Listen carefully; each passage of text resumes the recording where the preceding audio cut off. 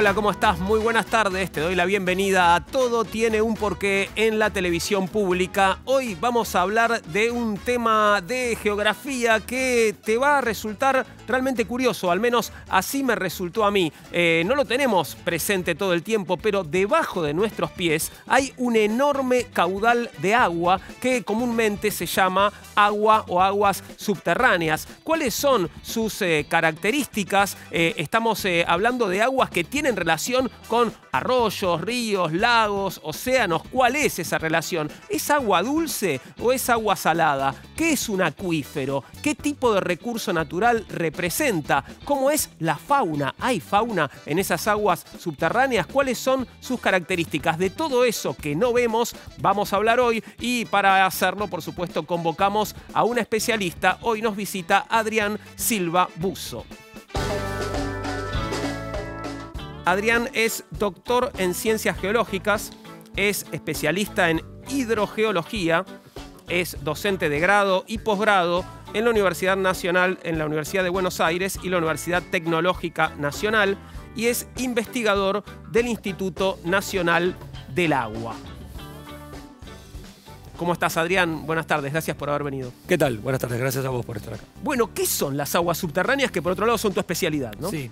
Bueno, básicamente eh, en áreas continentales, ¿no es cierto? Cuando llueve, fundamentalmente el agua este, forma parte de un balance hidrológico, parte de ella sabemos que escurre y forma ríos, y otra la consumen las plantas y se devuelve otra vez a la atmósfera, y hay una parte, una porción que logra infiltrar, o sea, que logra atravesar los primeros niveles ¿no? geológicos de, de la superficie de la Tierra y en un determinado punto, en profundidad, satura los poros de las rocas.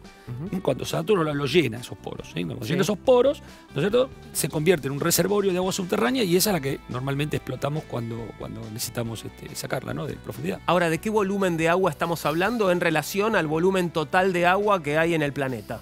Bueno, eh, a ver, el agua de los océanos, por supuesto, constituye el volumen más importante de agua del planeta, ¿no? Se dice en general que esto, que el 70% de la superficie del planeta está cubierta por agua, ¿no? Pero no estamos contando el agua subterránea ahí. No, no, no, no, no, En el, en el mar no estamos hablando. ese es un volumen, si hablamos a escala planetaria, tenemos que separar el volumen del mar, ¿no es cierto? Luego nos queda el agua eh, que tenemos contenida en zonas continentales. Curiosamente, en zonas continentales, a pesar de lo que por ahí la gente supone, casi el 68% del agua, o 69%, podemos precisar el número, puede haber diferencias entre distintos autores, pero no normalmente eso está en la criósfera, es decir, está almacenado en este, casquetes polares, no hielos en montaña o en eh, algún tipo de hielo relictivo que pudo haber quedado de periodos geológicos anteriores, y solamente el 30% ¿sí? del agua, solamente y nada menos también, ¿no? Del 30% del agua continental es del agua subterránea. Ese es el volumen básicamente, pero es dos órdenes de magnitud, o sea, 100 veces superior a la disponibilidad del agua superficial, que es mucho menor. O sea, el agua superficial es mucho menos 100 veces menos, más o menos dos órdenes de magnitud, sí. Impresionante. ¿Y qué es un acuífero, Adrián? Un acuífero, de nuevo, hay un montón de autores que uno puede consultar y cada uno, digamos, puede arrimar distintas este, definiciones. Este, y incluso es un término que podemos considerar hasta puesto hoy en día un poco en, evaluación desde la mirada no más este, académica del término, pero fundamentalmente es una unidad geológica, una roca, la cual por sus características petrofísicas, o sea, porque tiene posibilidades de tener cierta porosidad, puede albergar eh, agua y cederla en proporciones apreciables. Este proporciones apreciables es el que genera ruido a veces en las definiciones, ¿sí? porque justamente depende de la tecnología. Claro. La tecnología va cambiando ¿sí? con el, desarrollo de la humanidad y obviamente las posibilidades de extraer agua de las rocas también cambian. Claro. Eh, tenemos un informe que presenta uno de los acuíferos que hay debajo de nuestro territorio, es el acuífero guaraní. Lo presentamos y nos contás enseguida sobre otros. Adrián, ¿te parece? Sí, cómo no. El acuífero guaraní.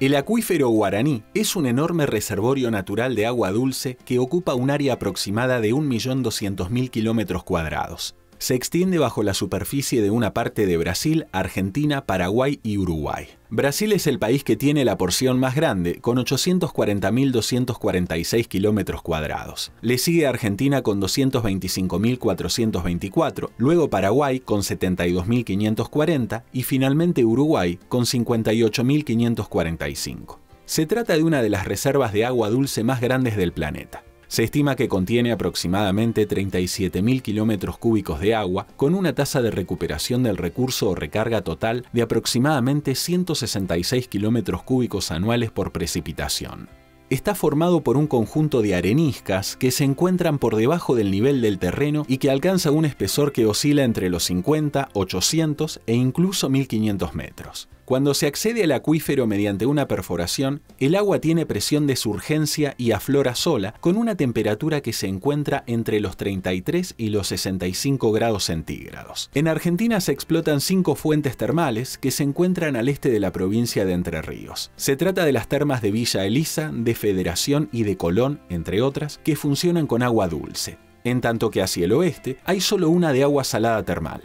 La mayoría de la extensión de este reservorio se ubica por debajo de la cuenca fluvial del Río de la Plata. En su parte inferior o más meridional se conecta con el Paraná.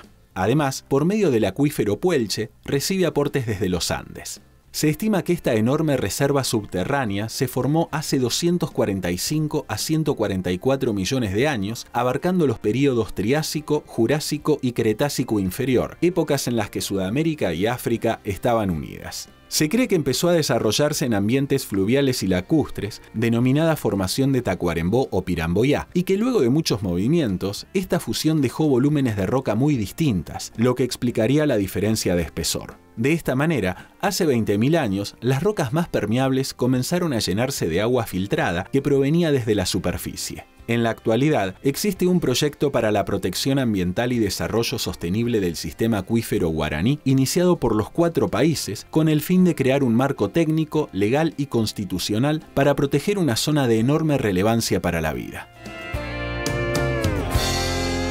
Ese es, Adrián, el acuífero guaraní. No es el único que podemos contar en nuestro territorio, ¿no? ¿Cuáles otros acuíferos relevantes podrías mencionar? No, claro, a ver, eh, yo creo que entre los más relevantes, eh, desde el punto de vista del aprovechamiento del recurso y de la incidencia que tiene ese volumen, ¿no es cierto?, sobre todo en la productividad y en la vida de, los argentinos, sin duda serían eh, los acuíferos vinculados con el Puelches, o sea, lo que conocemos como acuífero Puelches, y otros que tienen nombres geológicos parecidos, pero que son este, las mismas unidades geológicas, como uh y Salto Chico, que están en la Mesopotamia, y también los acuíferos que se desarrollan en los sedimentos pampeanos para que se tenga una idea del orden de importancia que tienen estos, estos acuíferos, si yo hoy ¿sí? cerrara la producción o la explotación del acuífero Puelche en la provincia de Santa Fe, ¿sí? el Producto Bruto Agropecuario de la provincia quedaría un 23%, porque justamente las aguas que se aprovechan de este eh, acuífero eh, colaboran o intervienen en casi un 23% del Producto Bruto Agropecuario de esta provincia. Claro, o sea que tiene un valor para riego. Claro,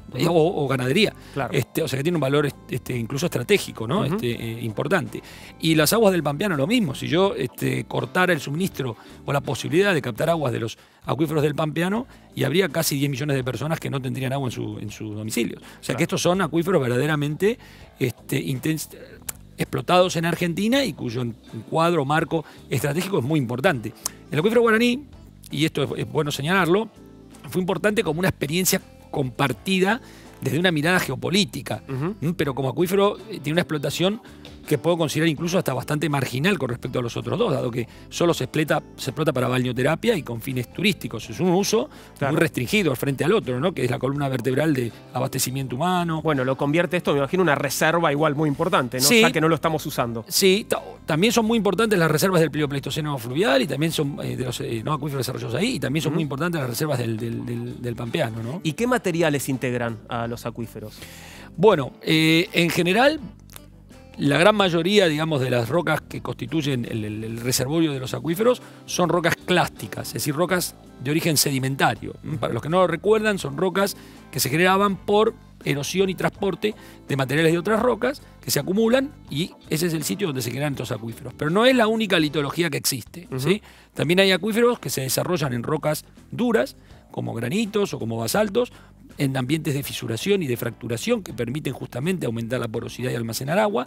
Y también hay acuíferos, ¿sí? como le digo yo a veces a los chicos en clase, el acuífero del abuelo, ¿no? que, vino de Europa, que son acuíferos cársticos que se desarrollan digamos, en rocas carbonáticas por disolución del material este carbonático, ¿no? que es de donde viene el concepto de río subterráneo, por ejemplo, que muchas veces la gente tiene ¿no es cierto? pegado al imaginario popular. En realidad el río subterráneo existe en ese tipo particular de, de acuíferos. Eh, si no, es más bien, bueno, Si no, el agua en los poros, en la En porosidad de las rocas. sí. A lo mejor había que interpretarlo más como si fuera una esponja, Una ¿no? para que la gente iba- lo tenía imagine. miedo de decirlo, Claro, pero- No, no, para que la gente lo imagine, podríamos interpretarlo así. Eh, ¿Y cómo llega el agua hasta ahí? ¿Por filtración desde la superficie? Mira, puede haber una recarga directa por infiltración este, vertical, ¿no? Este, eh, que es uno de los mecanismos, por ejemplo, es el mecanismo dominante en la región pampeana, en la zona de, de llanura, es, en general es ese, pero esto también depende no solamente eh, de la densidad de la, de la cantidad de precipitaciones, sino también depende de la litología, o sea, del tipo de roca en el cual, Claro. no sé, porque si la roca es impermeable en superficie, va a haber muchas dificultades de que el agua la atraviese, por lo cual no va a haber, no se va a producir ese tipo de recarga, ¿no? Así que Eso son está- estas dos variables. Estás utilizando la palabra recarga. ¿Qué se llama recarga de una Es la cantidad de agua que eh, periódicamente ingresa de alguna manera en el, en el acuífero. La otra es que la recarga sea eh, a través de, de ríos o de cuerpos de agua, es decir, este, ríos que, que alimentan acuíferos ¿sí? por el contacto entre el acuífero y el cauce. Tengo un informe que nos cuenta de qué depende la recarga de un acuífero. Lo vemos, Adrián, y seguimos conversando. ¿De qué depende? Lo vemos. Gran parte de la renovación de las aguas subterráneas depende de los procesos activos de recarga que se originan en la superficie gracias a las precipitaciones de lluvia y nieve. Su tasa de infiltración depende de varios factores. Por un lado, la litología, como se denomina la naturaleza del material geológico que aflora a la superficie, es uno de los aspectos que influye en la permeabilidad del suelo. Esta depende de la porosidad, del agrietamiento y de la mineralogía del sustrato. Por ejemplo, en el caso de que se componga de elementos arcillosos, debido a que estos se hidratan fácilmente y en consecuencia se hinchan, terminan causando una reducción de la porosidad que vuelve impermeable al terreno. Otro factor desfavorable para que el agua se filtre es que exista una pendiente marcada, escurriéndola más velozmente de lo que penetra en el suelo. En el caso de las zonas que cuentan con una vegetación densa, se producen efectos variados. Por un lado, porque las plantas reducen el agua que llega al suelo en un fenómeno denominado Pero a su vez, ellas extienden en el tiempo el efecto de las precipitaciones, desprendiendo poco a poco el agua que moja el follaje. Esta capacidad de los vegetales disminuye la proporción de escorrentía, lo que aumenta la de infiltración. Por otra parte, la presencia de vegetación es favorable debido a que las raíces, especialmente las densas y superficiales que tienen muchas herbáceas, colaboran en la formación del suelo, volviéndolo más permeable que la mayoría de las rocas frescas. La velocidad a la que se mueve el agua depende del volumen de los intersticios, es decir, de la porosidad, así como del grado de intercomunicación entre ellos. Se trata de los dos principales parámetros de los que depende la permeabilidad. En cuanto a los acuíferos, estos suelen ser de materiales sedimentarios de grano relativamente grueso, como es el caso de las gravas, las arenas y los limos, entre otros. Si los poros son suficientemente amplios, una parte del agua circula libremente a través de ellos gracias al efecto de la gravedad, en tanto que otra permanece fijada debido a las fuerzas de la capilaridad, mientras que otra porción depende de interacciones con las moléculas minerales. En algunas situaciones especiales se ha podido recargar artificialmente a los acuíferos, pero además de ser un método inusual, no siempre es posible. Sucede que antes de poder hacerlo y para evaluar su conveniencia, se requiere tener un conocimiento muy profundo y detallado de la hidrogeología de la región donde se encuentra y también hace falta disponer del volumen de agua necesario para tal operación. Por lo general, los métodos artificiales se usan para revertir la disminución de la reposición natural del reservorio, que en la mayoría de las ocasiones es resultado de las actividades llevadas a cabo por el hombre. En este sentido, el cuidado de los acuíferos depende de adoptar actitudes que promuevan un tratamiento adecuado de estas importantes fuentes de agua dulce. Hablábamos de cómo se recarga un acuífero. Ahora, ¿el acuífero descarga naturalmente también? ¿Hay circulación de estas aguas subterráneas? Sí, en general cuando, las, cuando vos estás en un clima húmedo, o sea, cuando las precipitaciones normalmente están por arriba de unos 800 milímetros para tener una línea de, de guía, eh, por lo general, y existe recarga vertical, los ríos son ganadores, como se les dice, es decir, en a lo largo de su cauce captan y colectan el agua que los acuíferos descargan en ellos. Cuando las precipitaciones son más chicas, me- menores, 700 o 300 menos milímetros, Por lo general ocurre al revés. Eh, los, eh, la recarga vertical es mucho menos este, importante y entonces los ríos son perdedores, es decir, ceden agua a los acuíferos recargándolos. Es lo que ocurre en Patagonia, por ejemplo, o, en las regiones este, O sea, cuando, cuando el acuífero cede agua lo hace hacia arriba, ¿no? Digamos, hacia el río. Cuando el acuífero cede agua, no, porque normalmente descarga el acuífero libre, o sea que directamente, digamos, la, la, piezometría, la presión, digamos, converge en la dirección del cauce y, y descarga allí, y el flujo. ¿Y cómo es la química de las aguas subterráneas? Eso es muy variado. Lo primero que hay que entender es que la química del agua subterránea en gran medida depende de los tiempos de contacto agua-roca. Es decir, si yo tengo un agua subterránea que describe una, eh, una circulación en un flujo profundo y, longevo, es decir, que dura mucho tiempo, en años, eh, lo más probable es que tenga una salinidad relativamente elevada. Es lógico pensar, porque todo el mundo te va a decir, bueno, la litología también juega un factor. No es lo mismo que el agua, claro, circule por, por ejemplo, depósitos marinos, ¿no? ¿Eh? a que circule por depósitos eólicos. No, por supuesto que no. Y la tasa de incorporación de sales puede ser diferente, pero sin duda alguna el tiempo de contacto agua-roca es el principal, a la larga, controlador de la eh, concentración de sales en el acuífero. Y la química particular de cada acuífero también está dada por eso, ¿no? Claro, está, sí, sí. O sea, la circulación de agua subterránea condiciona la química. Eso hace de que tú puedas explotar acuíferos, al mismo acuífero, en algunos lados a lo mejor con agua dulce y en otros tal vez no puedas porque el agua es salobre o salada. Y por supuesto, como has dicho recién, la calidad química del agua condiciona el uso. ¿Y hay eh, seres vivos en los acuíferos? Sí, hay, digamos, hay este, bueno, en, principio eh, hay seres eh, vivos a consecuencia del ingreso de materia orgánica por contaminación y tenemos una fauna normalmente de bacterias, ¿no es cierto? Y de, microorganismos eh, que, subsisten eh, cuando encuentran posibilidad de alimentarse, es decir, cuando en definitiva encuentran materia orgánica para subsistir. Eh, naturalmente también existen algunos este, investigadores que han detectado algunas formas de vida este, de, eh, no sé si unicelulares, pero, este, algunos no, algunos incluso son pluricelulares, este, que los han encontrado este, en, acuíferos. Se da más en acuíferos cársticos. Si me esperas un minuto, vamos a hablar sobre eso, justamente con, eh, bueno, con alguien que conoces, con Irene Weiss, que eh, va a contarnos sobre la fauna de las aguas subterráneas. Irene es bióloga, egresada de la Universidad de Buenos Aires, especializada en ecología en la Oregon State University de Estados Unidos, con un posgrado internacional en evaluación de Impactos Ambientales en la Universidad Nacional Autónoma de México. Además, es profesora universitaria de grado y posgrado en la Universidad de Buenos Aires y en la Universidad Nacional de 3 de febrero. Hola Irene, ¿cómo estás? Buenas tardes, ¿todo bien? Hola, buenas tardes, Juan, ¿todo bien? Gracias por atendernos. Eh, un placer para nosotros eh, escucharte y, y, conversar con vos, Irene. ¿A qué se llama estigofauna? es un nombre, nombre extraño. Bueno, mira, eh, justamente tiene que ver con lo que decía Adrián recién.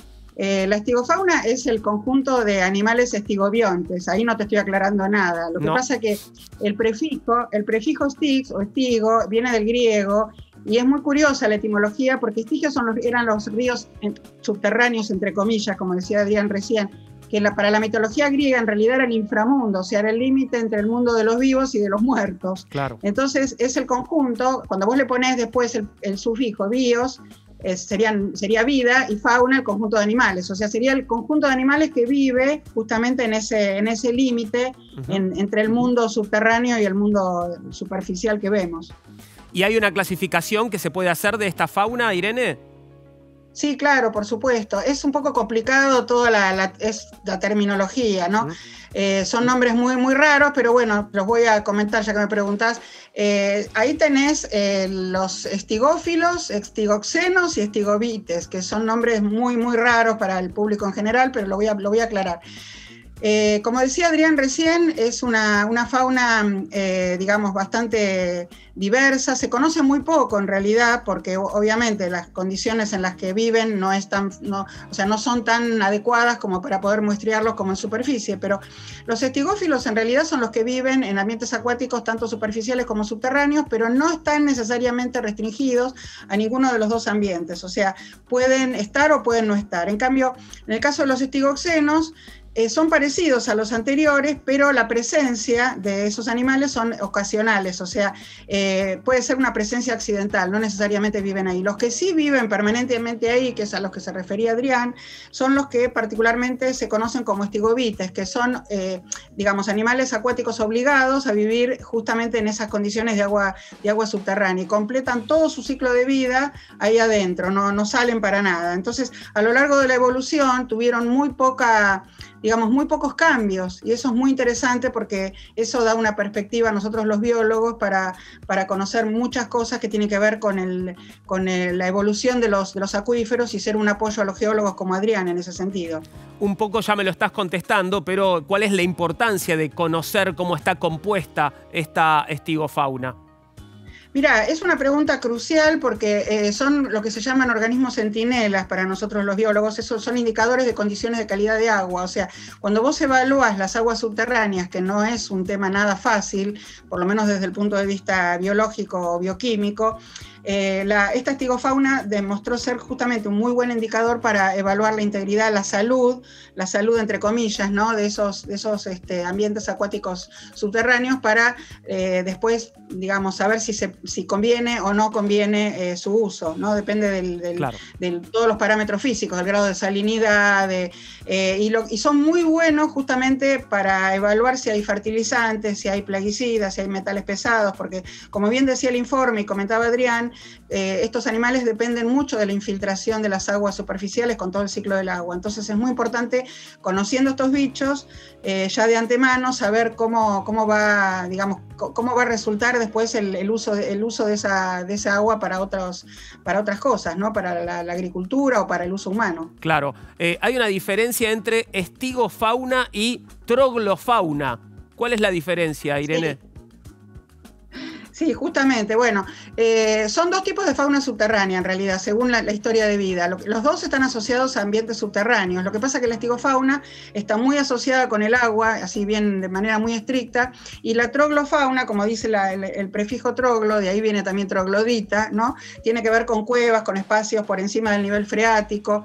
Eh, esto en realidad eh, tiene que ver con justamente la vida de los acuíferos, pero eh, estos animales dependen de esos espacios porosos, de, la piedra caliza, o sea, todo lo que comentaba recién Adrián, ese tipo de ambientes le viene fenómeno a los trogloditas y y, es justamente una, importancia eh, bastante fundamental para nosotros los biólogos que tienen estos trogloditas o troglobiontes, en realidad, como se los llama, em, es que eh, no, no, hay ningún animal que sea originario de una cueva, o sea, se adaptaron posteriormente a la vida en las cuevas. Entonces, hay casos muy, muy particulares, que, como por ejemplo hay un vertebrado, que es un, anfibio, que le llaman el olm, que, eh, bueno, es un proteo, no importa, es, es un pariente de las ranas, de los sapos, puede vivir hasta 70 años. Y vos sabés que la curiosidad es que en la Edad Media se pensaba que eran crías de dragones, porque bueno, como tantas leyendas de la Edad Media, ¿no?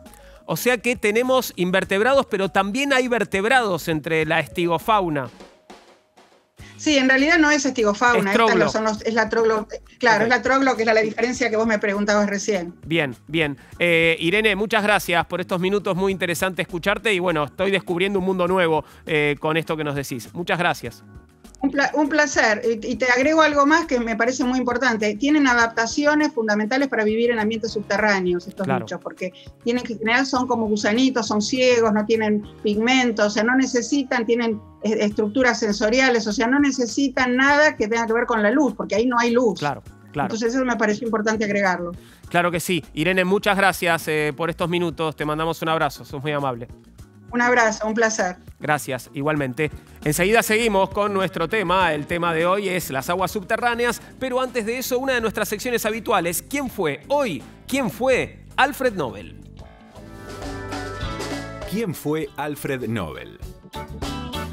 Alfred Nobel fue un químico, ingeniero e industrial que se destacó por haber inventado la dinamita. En su honor, cada año se entregan los premios denominados con su apellido a las personalidades más destacadas en diversas disciplinas. Nació en Estocolmo, Suecia, en 1833. Su padre fue inventor e ingeniero y desde pequeño le enseñó los fundamentos de esta actividad. Con el tiempo, Alfred Nobel comenzó a experimentar con explosivos, en una época donde el único elemento confiable para emplear en minas era el polvo negro, una forma de pólvora. En 1862 construyó una pequeña fábrica para hacer nitroglicerina al tiempo que investigaba cómo usarla sin riesgo. El explosivo seguía siendo difícil de transportar y de manejo muy peligroso, al punto de que su fábrica explotó en 1864. Un año más tarde, inventó un detonador llamado casquillo explosivo con una pequeña tapa de metal y una carga de mercurio fulminante activada por choque o calor moderado. El hallazgo significó el comienzo del uso moderno de altos explosivos. Su segundo invento importante fue la dinamita, a la que llegó en 1867 cuando descubrió un modo de usar la nitroglicerina en combinación con una tierra porosa silicia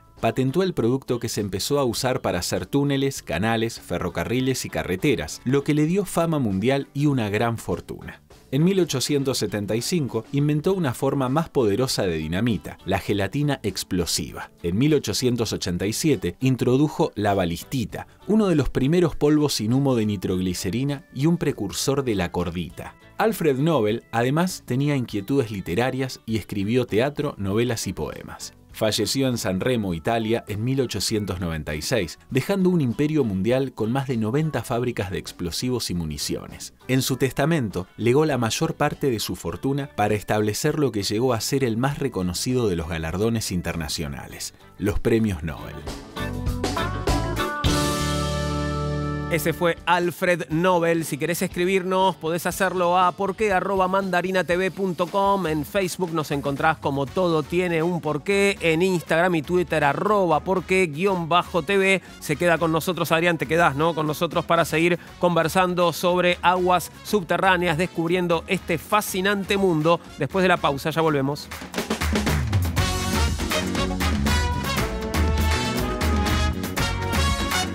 Continuamos con todo, tiene un porqué. Hoy estamos hablando de aguas subterráneas y quería preguntarte, Adrián, con relación a los acuíferos, eh, ¿qué es, ¿cómo es la estructura de un acuífero? Bueno, a ver, esa es una pregunta complicada. Vamos a responder en principio los que son más comunes en Argentina, ¿no? que son los acuíferos clásticos. Y la estructura viene dada por el entendimiento de la geología de estas unidades. ¿sí? Básicamente eh, intervienen dos cuestiones cuestiones que se vinculan con la estratigrafía, que para que la gente lo entienda, ¿eh? es lo que los geólogos eh, nos referimos a la sucesión, digamos, ¿no? de eh, materiales este, rocosos, por ejemplo, la sucesión de arena, de limos, las de capas, las capas, claro, y cómo esas capas están dispuestas entre sí y cómo varían lateralmente. Eso te define un poco la geometría. Y lo segundo, que tiene normalmente importancia cuando estás a mayor profundidad, este, que son las estructuras geológicas. Eh, fallamientos, fracturas, este, plegamientos o estructuras que pueden influir en la geometría del acuífero. Estas dos cosas definen la geometría del envase del agua subterránea, que al fin y al cabo ¿no? es la, geología. ¿Hay ejemplos de este tipo? Sí, eh, sin ir más lejos, el guaraní que citaste. Es imposible comprender la, geometría, la, geometría perdón, del acuífero este, guaraní si uno no tiene un conocimiento este, bastante detallado de las estructuras. Las estructuras prácticamente lo, controlan y lo definen, incluso hasta la sonación de las calidades químicas. ¿Y qué es el tipo hidráulico de acuífero y por qué es importante conocerlo? Sí, el tipo hidráulico de acuífero se refiere a cómo hidráulicamente funciona la unidad acuífera cuando uno intenta explotarla, ¿no es cierto? ¿Mm? En general, los tipos hidráulicos se separan en, a grandes rasgos ¿sí? en libres, acuíferos libres y acuíferos confinados. Son los dos extremos. Los acuíferos libres, el agua se encuentra en equilibrio ¿eh? con la presión atmosférica. Si esta cambia, cambia también ¿eh? su carga hidráulica. Este, y normalmente son los que reciben recarga directa y vertical, in situ. ¿no? Mientras que los confinados son los que se encuentran cubiertos por algún tipo de nivel geológico impermeable, sí que justamente los tapa, los confina. Claro. ¿no es cierto? Y el agua se encuentra a una presión mayor, fuera de equilibrio con la presión atmosférica, que está ajustada con la zona de recarga, que es alóctona, o sea que está lejos de ese lugar. ¿sí? Por supuesto, en el medio, en ciencias naturales, como ya sabes, hay una gran variedad y diversidad de clasificaciones. Y ahí aparecen cuestiones como semiconfinado, semilibre, ¿no? que son situaciones intermedias.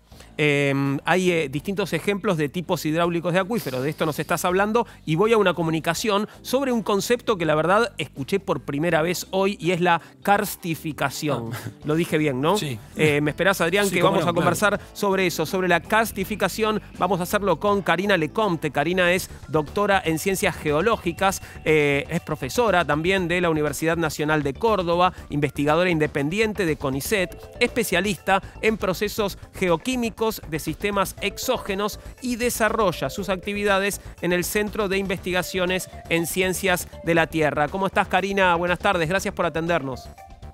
Buenas tardes, es un honor para mí estar en tu programa.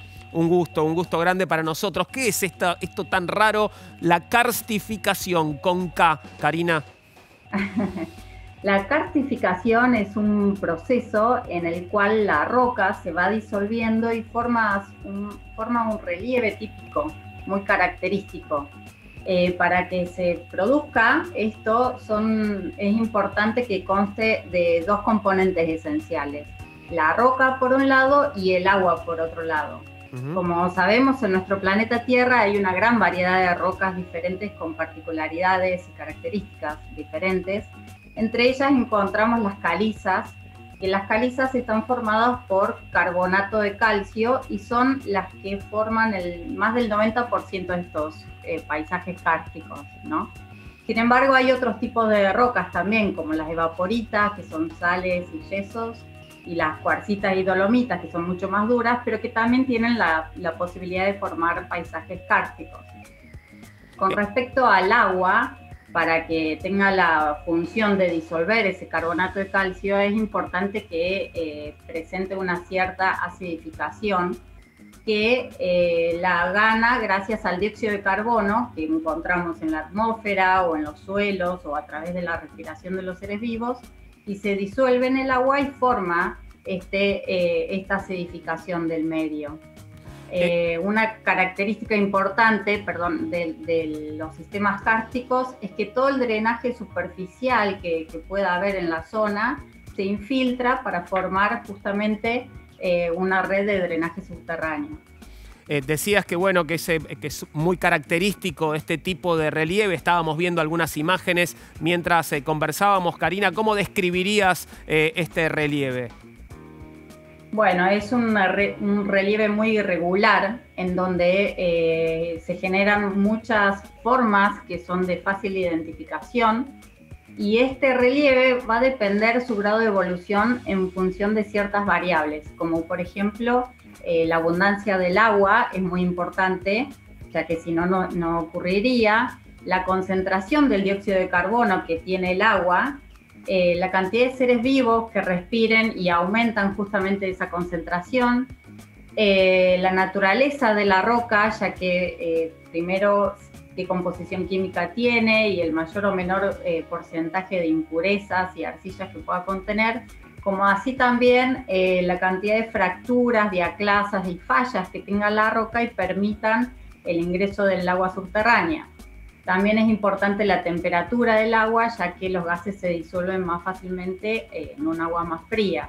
Y por último, que también explicaba el doctor hace un rato, el tiempo de contacto del agua con la roca que facilita estos procesos de disolución. Eh, ¿y, qué formas kársticas existen, Karina? Yo sin saber nada de esto y viendo imágenes pensaba en esto que llamamos estalactitas, estalagmitas. ¿Tiene que ver con esto o nada que ver? Sí, sí, por supuesto. Las formas kársticas eh, se suelen dividir en, dos. Eh, siempre le damos más importancia a las subterráneas, que se llaman endocársticas, porque son las más llamativas, ¿no? Eh, pero también hay formas exocársticas, que son las que están en la superficie terrestre. Entre las que están en la superficie terrestre podemos encontrar algunas que se llaman lapiaces, que son pavimentos, zonas extensas, planas, eh, que están llenas de surcos o grietas por donde circula el agua. También encontramos eh, zonas de disolución eh, esféricas y cerradas que se llaman dolinas, que se pueden unir formando lo que se llaman ubalas y finalmente lo que se denominan poljes, que son grandes cañadones con paredes verticales y un piso relativamente plano. Esas son las, las, las formas más típicas eh, exocársticas. Después están los sumideros, que son pequeños agujeros que conectan con las formas internas de, eh, un paisaje kárstico, en donde encontramos claramente las cuevas o cavernas o las grutas, que son las, formas más llamativas. de donde penden eh, las estalactitas que mencionabas, que son, eh, penden del, del techo hacia abajo, y las estalagmitas desde el suelo hacia arriba van creciendo. Estas se pueden unir formando eh, como tubos, columnas, tabiques y a veces hasta cortinas, si son muchas. También dentro de, las formas endocársticas podemos encontrar galerías o cimas, que es por donde circula el agua subterránea. Eh, Karina, muchas gracias por estos minutos, eh, fue muy interesante escucharte. Bueno, muchas gracias a vos y a la producción por la invitación. Un abrazo grande, gracias. Hasta luego. Eh, hablábamos sobre la karstificación, ya aprendimos una cosa más. Ahora, volviendo a los acuíferos, Adrián, y a otra clasificación, ¿cómo podemos distinguirlos, clasificarlos según los ambientes? Bueno, si lo vas a clasificar según los ambientes, vas a tener que recurrir un poco eh, a la geomorfología este, superficial, ¿no? Y también los ambientes normalmente, dejando de lado los cársticos que acabamos de hablar, que son muy específicos, o las rocas fisuradas, que también son bastante específicos, este, estaría en vinculación con eh, el tipo de proceso geomorfológico y el tipo de paisaje que se desarrolla en un determinado este, momento en una determinada región, ¿no es cierto? Y obviamente esto va a tener influencia, pero en acuíferos relativamente superficiales. Claro. Los acuíferos ya más profundos, pero no muy profundos, inmediatamente profundos, es decir, ahí, ahí cercano a la superficie, ya la realidad es que tienen más influencia, o por lo menos se vean más regidos por la estratigrafía y por las estructuras este, geológicas. Eh, los ambientes costeros son un caso, son un ejemplo por ahí un poco emblemático, ¿no? Por supuesto. Y tenemos un informe al respecto, así que lo vemos, Adrián. Estos son los acuíferos costeros. Los acuíferos costeros se caracterizan porque uno de sus contornos es una masa de agua salada que ejerce una fuerza para ingresar tierra adentro y que no lo logra debido a la presencia de un reservorio de agua dulce cuya recarga o alimentación se encuentra en el continente. Hay acuíferos costeros ubicados en los paisajes más diversos como deltas, llanuras y manglares, entre otros. En el caso de los deltas, son un depósito de sedimentos en un ambiente léntico como el mar, que a su vez tiene una superficie que emerge y otra parte sumergida. Esta última recibe el material fino por medio de los diversos brazos que lo conforman. En lo que respecta a las llanuras costeras, tienen orígenes variados y por lo general albergan gran cantidad de acuíferos que suelen ser multicapas. Esto quiere decir que están formados por una secuencia de estratos casi horizontales en los que se intercalan algunos de mayor permeabilidad y otros casi impermeables. Los que permiten mayor paso de líquido están hechos de materiales como gravas, arenas y areniscas, confinadas por capas con un contenido alto de finos como limos y arcillas. La presencia de estos elementos más pequeños de poca permeabilidad en proximidades de la línea de la costa favorece la formación de una cuña salina limitada. Usualmente son acuíferos confinados, pero también existen semiconfinados y libres. Otros tipos de reservorios de agua son los campos de dunas. Se trata de montañas o cerros de arena que se forman a la orilla del mar, principalmente en las zonas donde existen vientos con una dirección dominante que provoca el crecimiento y traslado de las dunas. Estas son formaciones muy importantes en las zonas costeras bajas porque absorben el agua dulce proveniente de las lluvias, impidiendo que escurra directamente al mar. Además, filtran las que provienen del continente y las almacenan a pocos metros de profundidad. Otro tipo de paisaje con acuíferos son los cordones litorales. Se trata de depósitos de arena o grava paralelos a la línea de costa que forman barreras que contienen lagunas de agua dulce de poca profundidad. También puede haber agua subterránea en los manglares, nombre que recibe un terreno donde crecen árboles y arbustos en aguas saladas de poco fondo y que son propias de las costas y algunos estuarios. Están presentes en regiones tropicales y subtropicales y son excelentes lugares donde anidan y se alimentan peces, aves e invertebrados. En parte pueden estar alimentados por la descarga de agua subterránea, lo que genera gradientes geoquímicos que permiten gran biodiversidad dada la variedad de ambientes. Finalmente podemos encontrar acuíferos en las llamadas áreas de marisma mareal o fluvial. Son una zona pantanosa baja en la que predominan los pastos y plantas herbáceas no leñosas como los juncos. Suelen formarse junto a las costas y se inundan solo de agua de mar gracias a que están expuestas a las mareas. No importa el paisaje donde se encuentren, los acuíferos costeros son un importante reservorio de agua que es necesario preservar del daño ambiental. Más allá de la preservación, eh, Adrián, ¿cuál es la relevancia real en nuestra vida, ¿no? en la vida de las sociedades de eh, las aguas subterráneas? ¿Qué tanto dependemos de ellas? Sí, la gente normalmente no imagina el grado de ponderación que tiene el, agua subterránea en el uso, en el diverso uso, ¿no es cierto?, que le damos a los seres humanos. Pero en realidad este es un porcentaje muy grande que en muchos países supera ampliamente ¿sí? el la captación del agua este, superficial incluso en nuestro país. Nosotros tenemos provincias con por ejemplo, la provincia de Entre Ríos, con un nombre tan característico y rodeada por este, dos grandes ríos como el Paraná y el Uruguay, sin embargo, eh, gran parte de la población se abastece casi exclusivamente del acuífero Ituzaingó, que es un acuífero formidable y que obviamente abastece agua subterránea casi todas las localidades. Incluso la propia ciudad de Buenos Aires ha tenido una historia variable en cuanto a la participación del agua subterránea en el abastecimiento. Ha habido épocas, hasta a principios del siglo XX, donde el agua subterránea eh, tenía el 70% del, abastecimiento de la, de, la, ciudad de Buenos Aires, que eso, bueno, después fue cambiando, ¿no? A partir de 1928, con la inauguración de la planta de tratamiento, pero incluso hoy en día tiene un porcentaje importante, no sé cuánto, pero es un porcentaje relativamente importante del abastecimiento. ¿Y hay algún tipo de regulación sobre los acuíferos? Sí, claro, o sea, hay una eh, en general este es un país federal, ¿no? Entonces las regulaciones de este tipo, el agua por supuesto está en la dependencia de las provincias y las regulaciones dependen de las provincias. Eso es un escenario variable, depende en qué provincia, ¿sí? El desarrollo de la legislación es diferente. Claro. Este, y me imagino que esto se vuelve más complejo cuando hablamos de eh, acuíferos transfronterizos y de eso voy a hablar eh, con una especialista. Si me esperás, Adrián, estamos en contacto ahora con Carolina Filipón. Carolina es máster en Derecho Ambiental y va a hablarnos de esto, la regulación de acuíferos transfronterizos. Por supuesto es abogada, Carolina, máster en Derecho Ambiental y Protección del Patrimonio Cultural por la Universidad Nacional del Litoral y la de Limoges, Francia, y docente del Derecho Internacional Privado en la Universidad Nacional del Litoral. Buenas tardes, Carolina, ¿cómo estás? Gracias por atendernos. Hola Juan, ¿cómo estás? Mucho gusto. Igualmente, ¿por qué es un tema de interés la gestión de aguas subterráneas? Bueno, en principio tendría que decir que las aguas subterráneas son desde el vamos importantes porque son un recurso hídrico que, como bien venían desarrollando, son la mayor reserva de agua dulce accesible.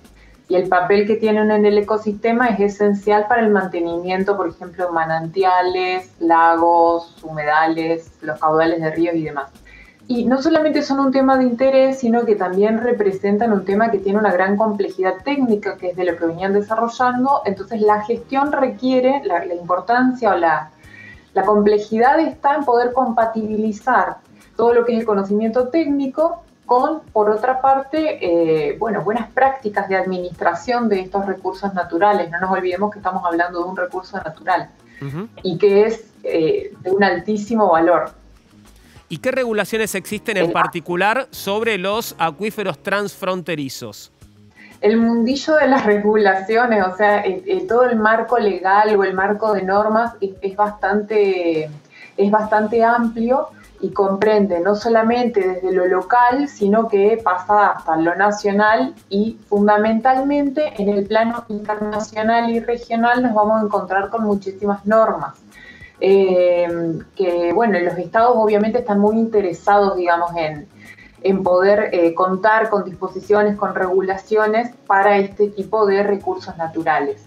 Eh, dentro, digamos, de lo que sería el plano, el plano internacional, nos vamos a encontrar con que estos que han sido denominados como sistemas de acuíferos transfronterizos, en la bibliografía aparece como SAT, estos sistemas, hay, por ejemplo, eh, normas relativas al uso de las aguas de los ríos internacionales. Esas fueron unas de las primeras normas que aparecieron sobre el tema, eso allá por el año 1966. Eh, que es la conferencia de, Helsinki. Por otro lado, tenemos que esas mismas reglas desarrollaron un principio, las de Helsinki desarrollaron un principio que tienen que ver con la participación razonable y equitativa en los beneficios del uso del agua eh, y esos principios fueron recuperados eh, en las reglas de Seúl sobre aguas subterráneas internacionales. Como te darás cuenta, sigo hablando del plano internacional. También tenemos las reglas de Berlín en materia de aguas. Eh, y bueno, y después conferencias, como por ejemplo una conferencia de Naciones Unidas que se realizó en el año 77 en nuestro país, puntualmente en Mar del Plata, y en esa ocasión se adoptó la Declaración sobre Aguas Subterráneas y Desarrollo Humano que fue sumamente importante, hasta que se en el año eh, recientemente, que es la resolución 63124, se adoptó eh, una, esta resolución de Naciones Unidas sobre el derecho de los acuíferos transfronterizos, que bueno, es como que fue un parteaguas esta resolución. Y a partir de ahí empezaron a, se empezó a abrir camino para los estados nacionales otras regulaciones. Se me acabó el tiempo, te agradezco mucho por lo que nos has contado, eh, muy interesante. Muchas gracias. Espero que les sirva. Gracias a ustedes. Gracias, Carolina. Hacemos una pequeña pausa. ¿eh? Ya seguimos conversando sobre las aguas subterráneas. En todo tiene un porqué. Esperanos, ya volvemos.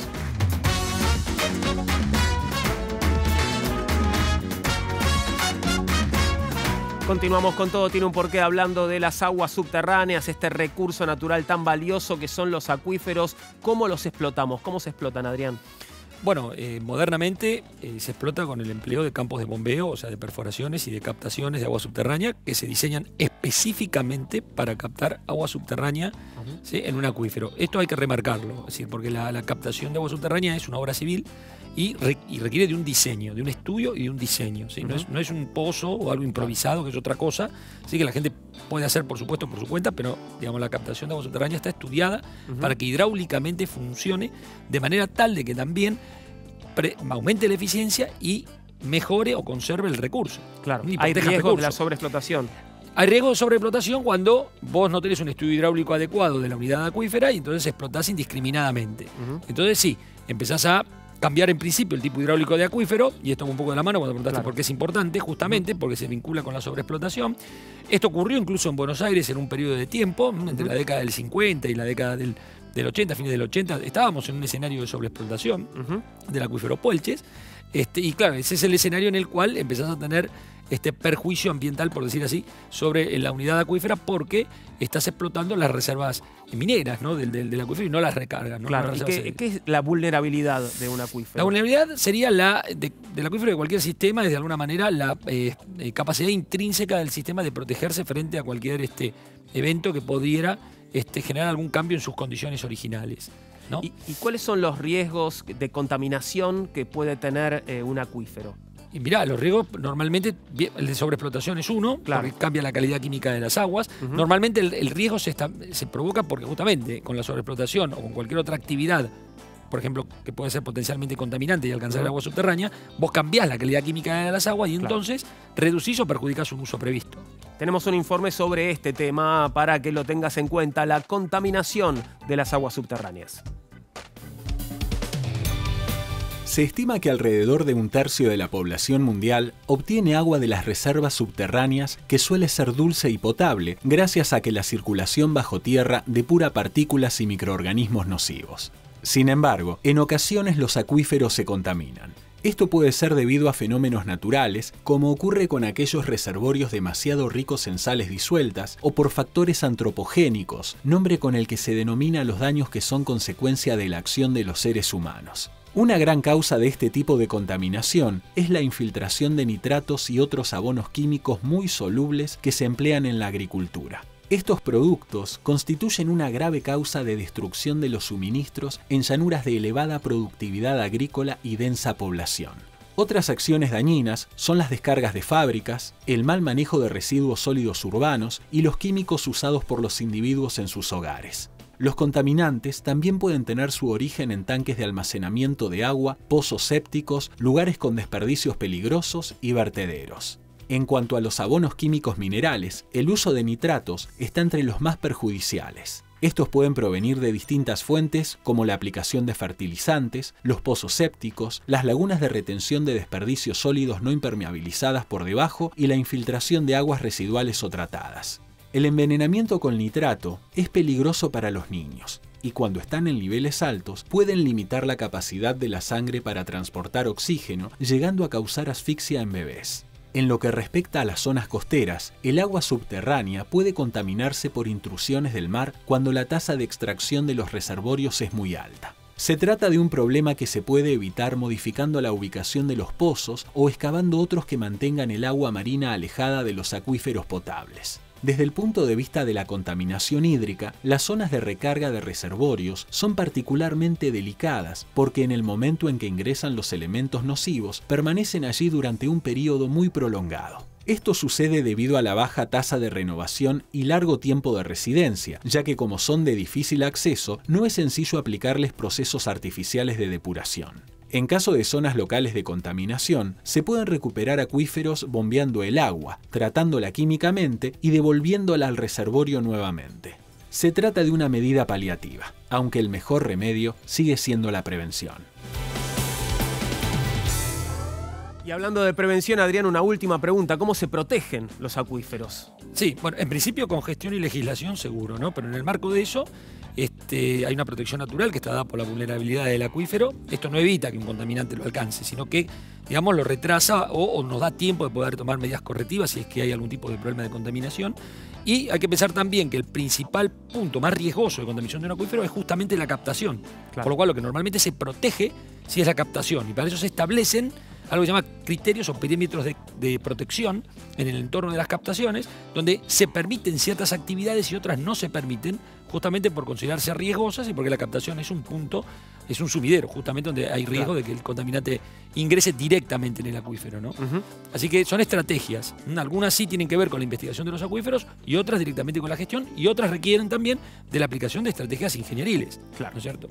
Adrián, muchas gracias eh, por haber venido. Fue muy interesante escucharte sobre este tema del que no tanto se habla, ¿no? Y bueno, y está ahí, eh, debajo de nuestros pies. Eh, y dependemos mucho de ellos. gracias por habernos acompañado. Espero que hayas disfrutado del programa de hoy.